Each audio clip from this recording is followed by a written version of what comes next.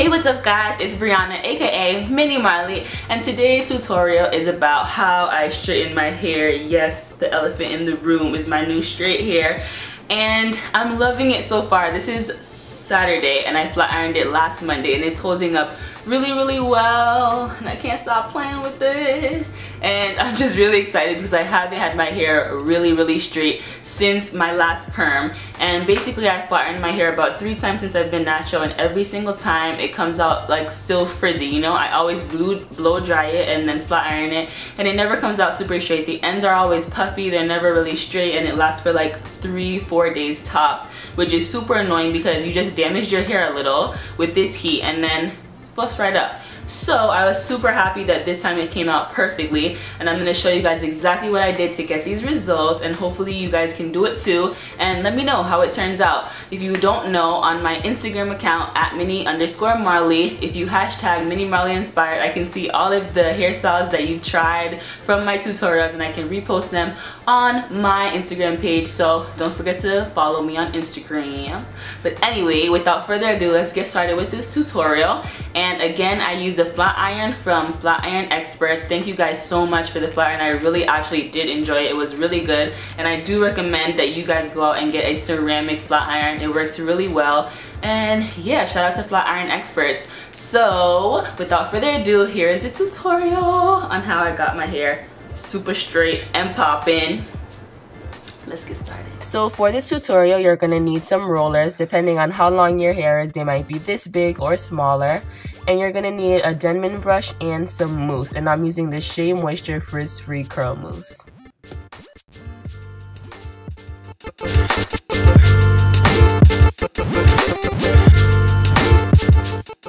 Now, I personally do not know how to roller set my hair, so I enlisted the help of my mother for this while I was home in Florida. And all she did so far is just section off the top part of my hair first, and she roller sets from the top down. And this is how she's been roller setting my hair ever since it was perm. Nothing really changed except that I used a natural hair type mousse for this one. But yeah, all she's doing right now is roller setting it, so I'll just let you guys watch and see exactly how she does that.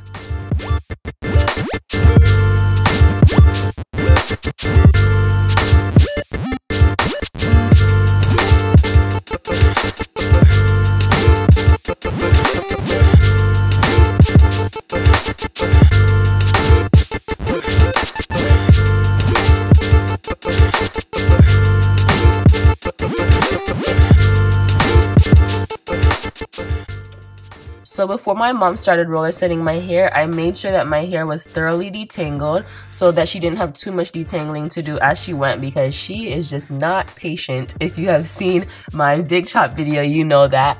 So right now, all she's doing is roller setting it and it's very important that you pull the hair tight, as tight as you can. You know, obviously don't pull it out, but the whole point is that we're trying to straighten out the roots and get the ends to lay flat because I found that every time I blow dried my hair before I straightened it, it really just didn't come out out super straight. The ends are always puffy and this was the only way that I found so far that works that gets the ends to lay smooth and you know it just pull like stretches out your roots for you so that it makes the straightening process a lot easier. So that's all she's doing here. I asked that she used my Denman brush and she's just pulling it tight and then roller setting it.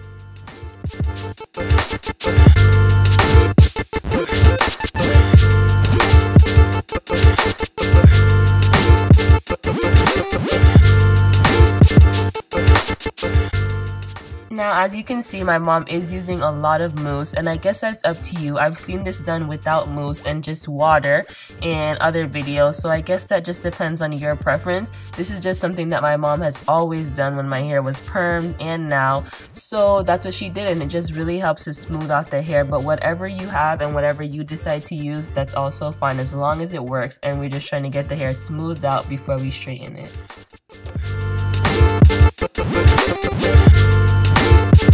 Thank you.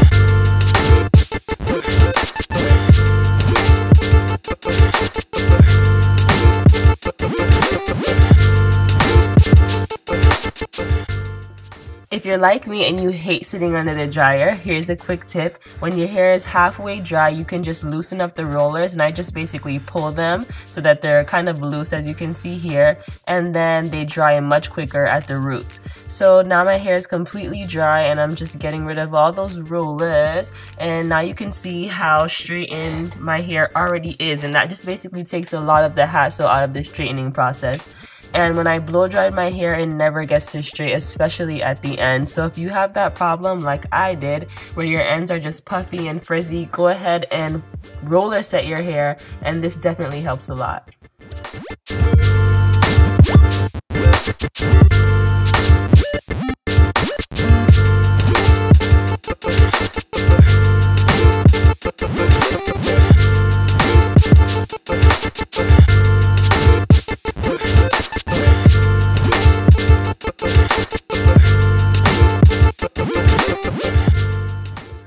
Okay, so excuse the ugly faces I make when I'm doing my hair. I know y'all do it too. And all I'm doing right now is just straightening my hair. So I know a lot of naturals are really strict about only passing the flat iron over their hair one time, but this is just the way I do it and this is what I need to do to get my hair straight. I have really thick hair as you guys can see in all my videos, so for me I need to pass it over a couple of times and I also don't like to waste my time, so you know I want to make make sure that I actually really get my hair straight. Now, if you have finer hair, a finer texture, you're not going to need to pass a flat iron over your hair as many times as I do. And I think that that is why people get heat damage. If you have thinner hair, you need to make sure that you only try to do it about one or two times. But for me, I haven't gotten heat damage and I pass a flat iron over my hair countless amount of times as you can see in this video. And I like to do it on the roots a couple times to make sure that I get that area straight as well. So again don't just watch this video and think that you can do the exact same thing. Just flat iron it as much as you need to to get it straight. And if you have finer hair make sure that you don't pass the flat iron over it too many times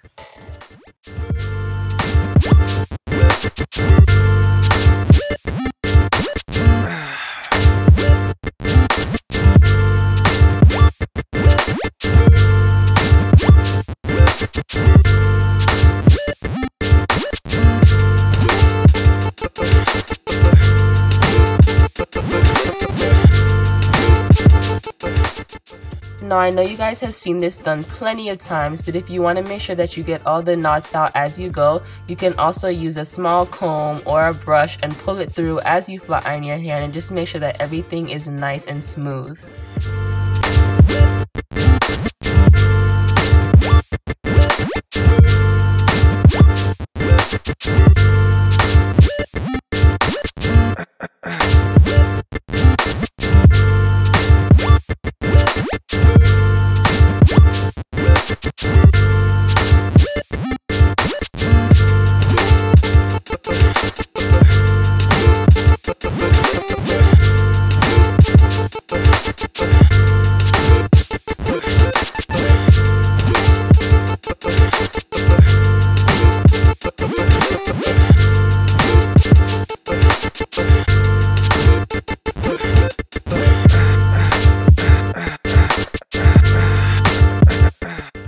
So I basically use the same technique throughout my entire head and now I'm at the top and of course you can create whatever kind of part you like. This particular time I decided to create a center part so all I'm doing here is just curling my hair away from my face because I like to get kind of a bump. I don't like to have bone straight hair when I do straighten it. I still like to have a lot of body so if you curl it under a little when you get to the ends it just gives it some extra body and also remember to get your edges and your roots because those are the areas areas that will start to curl up first.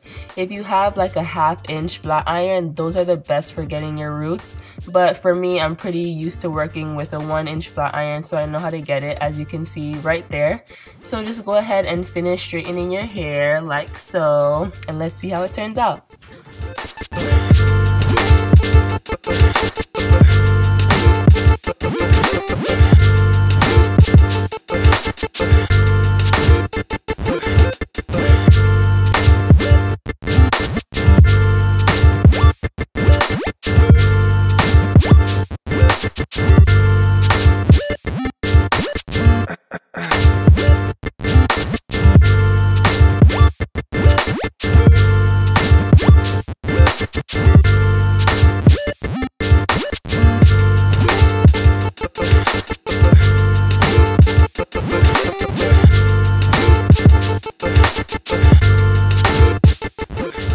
Okay, so I just wanted to show you guys what it looks like when you curl your hair under at the end. It just gives you some body and a much fuller look. So my hair is all flat ironed and straight right now, and this is what it's looking like. And I know it's a little bit puffy, but all I did was put a smoothing serum over it by Carol's Daughter, and then I wrapped it overnight. And you can use some type of light oil or any smoothing serum by any brand, and that just creates some shine. But you don't want to use any heavily oily product or it's gonna weigh down your hair. But just go ahead and wrap your hair overnight and it gives you a much sleeker look. And this is about a week after I flat ironed my hair. I just wanted to show you guys the length and what it was looking like. This time it really stayed straight and I know it was because I roller set my hair first.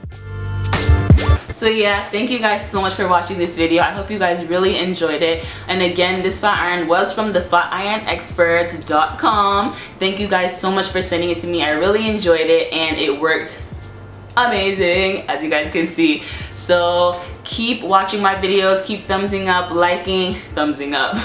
keep giving me thumbs up, liking, and subscribing to my channel. You guys are so freaking awesome.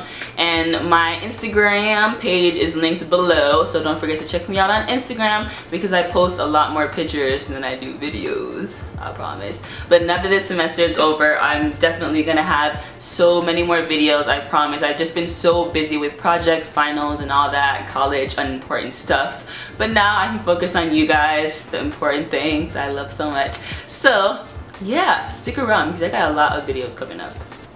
Peace.